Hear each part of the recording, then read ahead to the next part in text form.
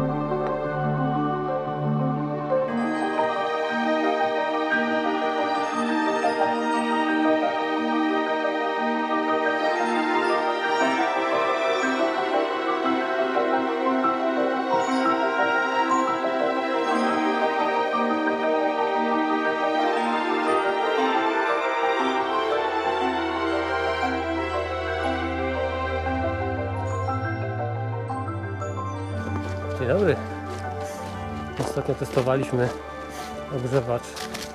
Mm. Ostatnio testowaliśmy ogrzewacz MFH węgielkowy. I zrodziło mi się pytanie, a co na to Zippo? Czyli królowie ognia z USA. Zobaczmy. I będziemy dalej testować e, Devourera w trochę innych w trochę innych scenariuszach. Poza tym zima. Zobaczymy co nam jeszcze się przytrafi.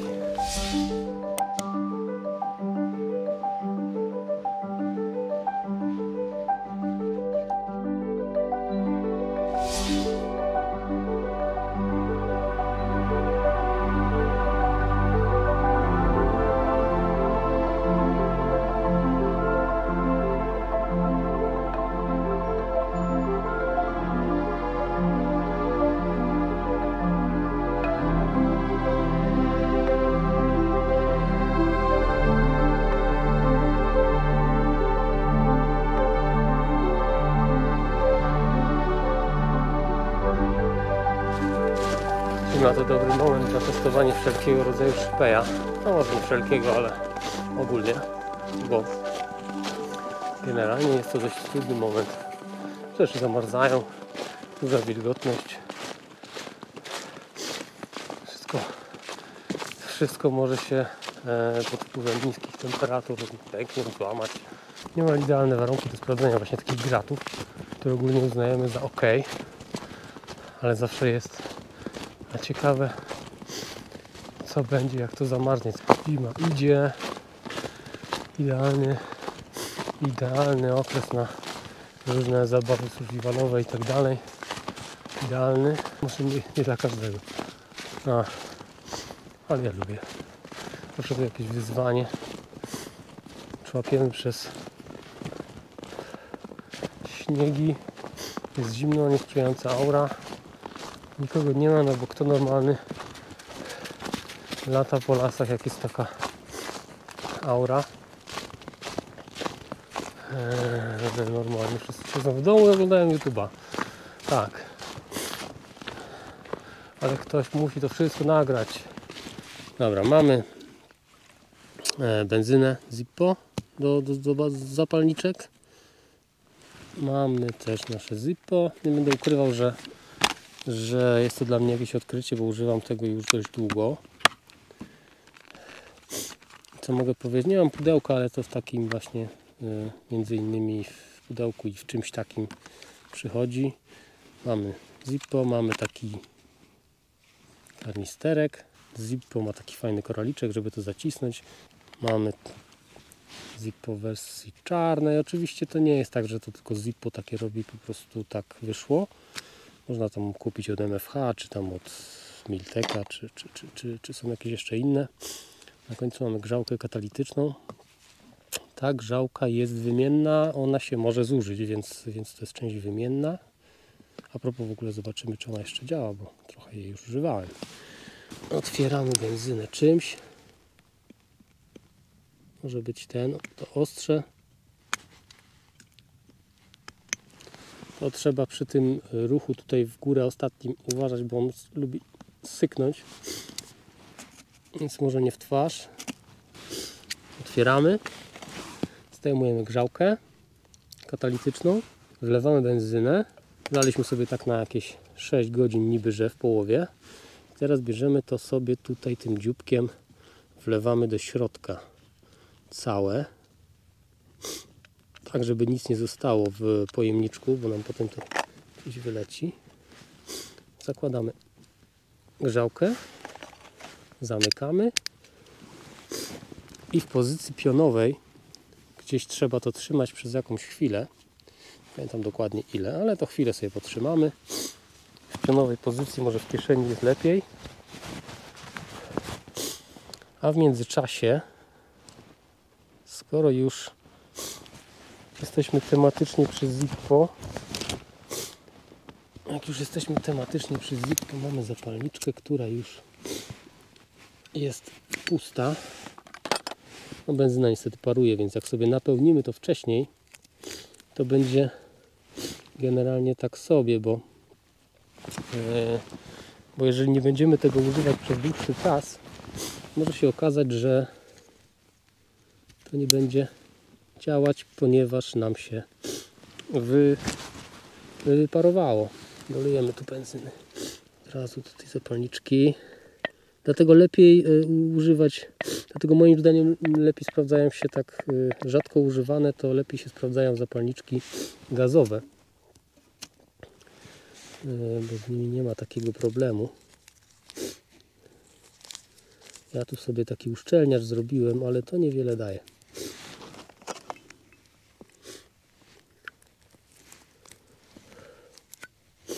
To nie chodzi o to, że to, to Zippo się e, jest nieszczelne, czy coś w tym stylu. Ten uszczelniacz ma tutaj spowodować, miał tutaj spowodować, że po prostu będzie wolniej parować, ale może paruje wolniej, ale paruje.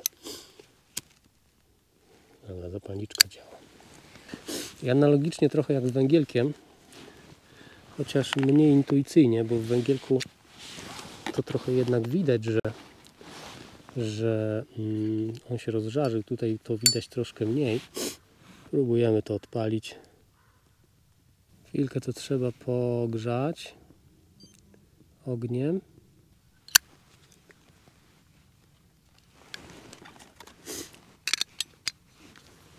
Zamykamy i sprawdzamy. To akurat działa troszkę szybciej niż, yy, niż ta węglowa, ponieważ ciepła się robi praktycznie niemalże od razu. Jak jest ciemno, to widać, że się to tam w środku żarzy, ten żarnik. Tak, grzeje się. Po tym można rozpoznać, że, jest ciepło, że już odpaliliśmy, bo po prostu jak zamkniemy, to ten metal się robi od razu ciepły. Także czuć, że to działa. Wsadzamy do woreczka. Tu też istotne jest, żeby to trzymać w woreczku i im bardziej go zaciśniemy, tym, tym mniej powietrza dostaje się do środka, jest grzałka, pali się wolniej, więc mamy niższą temperaturę. To już jest ciepłe. I to w zasadzie cała filozofia.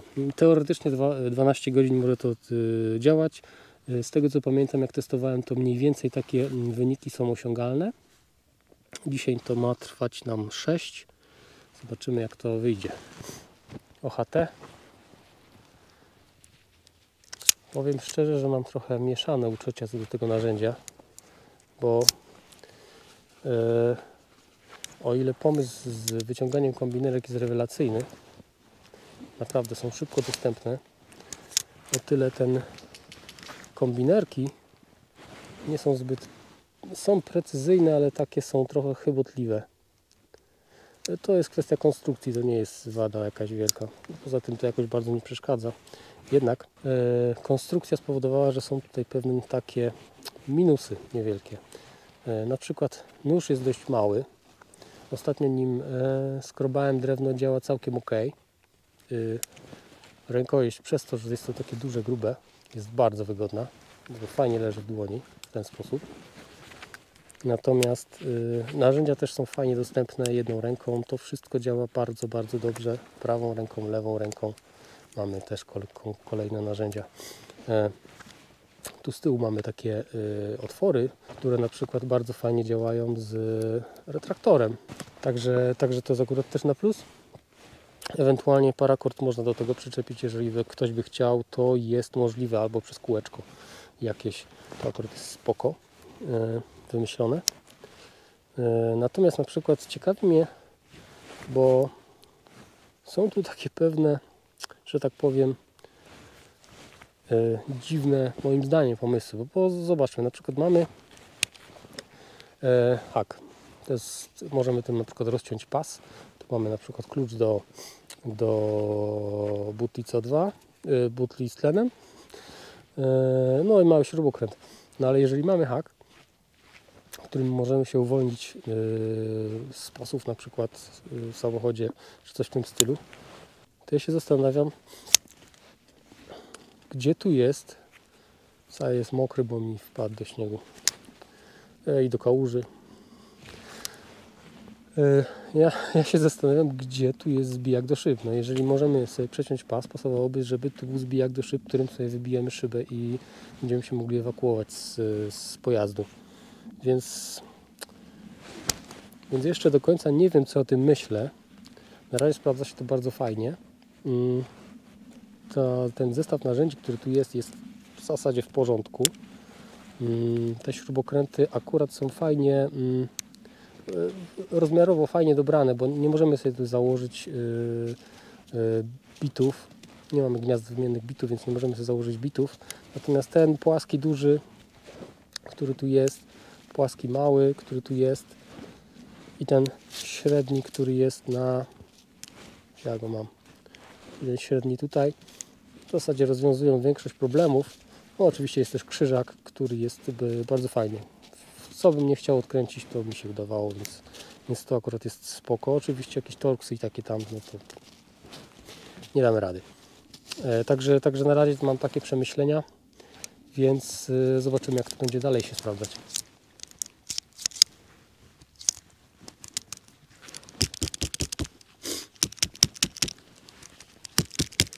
Jednym z minusów jest to, że jak tutaj nawali nam się śniegu, to to się nie chce za bardzo otworzyć.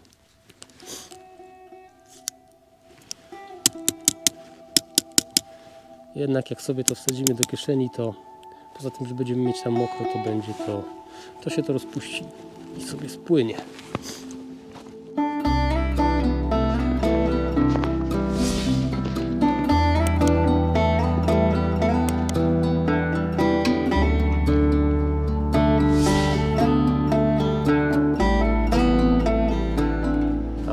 15 minutach. Warmer jest ciepły. Poza tym, wiadomo, mamy charakterystyczny zapach e, palonej benzyny, nie takiej silnikowej. Tylko nie wiem, jak ktoś miał zapalniczkę to wie jaki to zapach. Nie, nie dymi, nie śmierdzi jakoś specjalnie.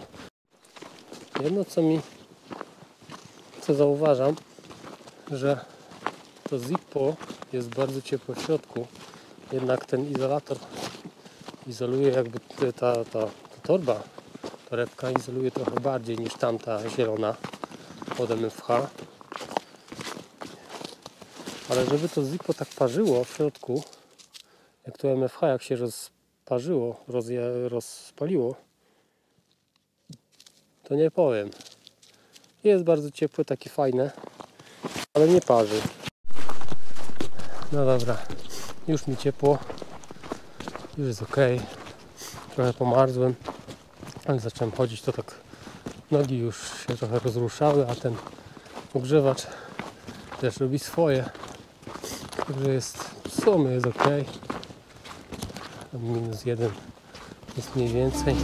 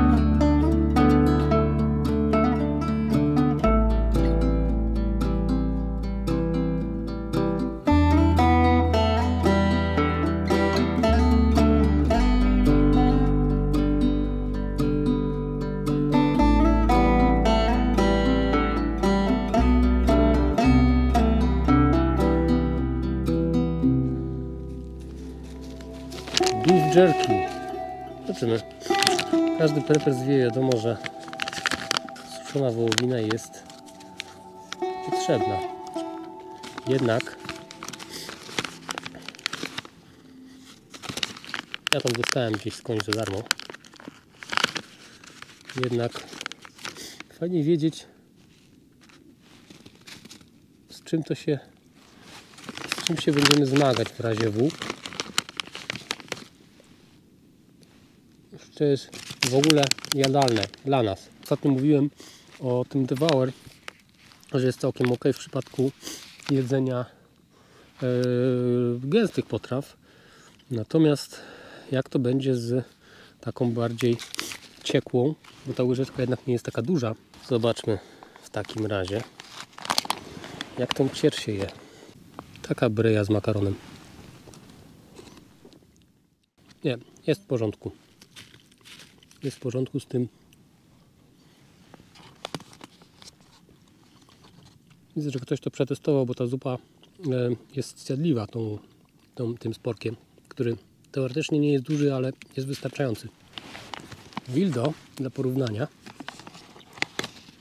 tej samej potrawy, raz, że oczywiście muszę troszkę nurkować bardziej niż bym chciał.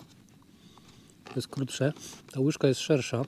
Natomiast sam element, że tak powiem, łyżki to jest tak 2 trzecie szerokości tego sporka. Bo tu z boku jest nóż i on jest płaski, a samo wgłębienie jest, y, jest tutaj tylko z boku. No i co ja mam z tym zrobić właśnie? I to jest właśnie problem. Natomiast tą, no, tą łyżką jest dużo wygodniej. Dobra, na razie to jest mój zdecydowany faworyt, jeżeli chodzi o sporki. No to cóż więcej testować. Jeszcze zobaczymy przy jakichś innych potrawach, których dzisiaj nie mam przy sobie, jak to się będzie sprawować z cięciem. Czy Letterman wysechł? He, chyba będę go suszył dość długo. Bo się zrobiło mokro, a ja dzisiaj miałem jakiegoś pecha i mi wypadał trzy razy. Dwa razy do śniegu i raz do kałuży. no to też jakiś test. Zobaczymy, czy to zardzewieje, czy nie woda. A, Zippo. E, prawda jest taka, że ja nie będę oczywiście czekał 6 godzin, żeby pokazać, że się skończył, bo mm, jakby to nie ma sensu, bo za, żeby czekać 6 godzin to jeszcze nam by zajęło trochę. Będzie już ciemno i znowu nic nie będzie widać. Tak dalej. Natomiast yy, musicie uwierzyć na słowo, że to tyle grzeje, ile jest mniej więcej napisane. Nie mierzyłem tego ze stoperem, ale mniej więcej z tego co patrzyłem mm, swego czasu to tak działało. E, jedyna różnica do tego e, na węgiel była taka, że e, jest taka, że, że grzeje to bardziej równomiernie i przez dłuższy czas. Tamten się rozgrzewa wolniej, osiąga dużo wyższą temperaturę, no ale się kończy też, też zdecydowanie szybciej. Oczywiście tego też możemy skończyć, tego, tego też możemy skończyć szybciej, jeżeli nalejemy mniej benzyny. To też ma swój jakiś sens. Oczywiście te, te węgielki też możemy złamać. ale na przykład dwóch nie wsadzimy do środka, żeby grzało 6 godzin, tylko trzeba po, po jednym rozpalać następny. Tu jednak mamy jakąś taką ciągłość. E, Co ciekawe, tutaj nie znalazłem informacji o tym, żeby nie można tego trzymać w śpiworze, a ja tego tak używałem, więc, więc nie wiem, czy można, czy nie można, ale w ten sposób działa. Teoretycznie trzeba mieć na uwadze, że to jest jednak urządzenie, które mm, y, jest, spala jakieś paliwo w jakiś tam sposób bezpłomieniowy, ale jednak. Więc wyobrażam sobie, że dałoby się tym coś zapalić, ale nie, nie wiem jak. Musiałoby się to otworzyć? Nie wiem. Nie, nie wiem, nie wiem, ale być może. Więc y, nie mówię, że polecam, ja tego tak używałem i to działało. No, także czas na nas. Zbieramy się, musimy dojść gdzieś tam. Y, No, w każdym razie poszwędaliśmy się jak zawsze. Także wracamy już do bazy. Cześć!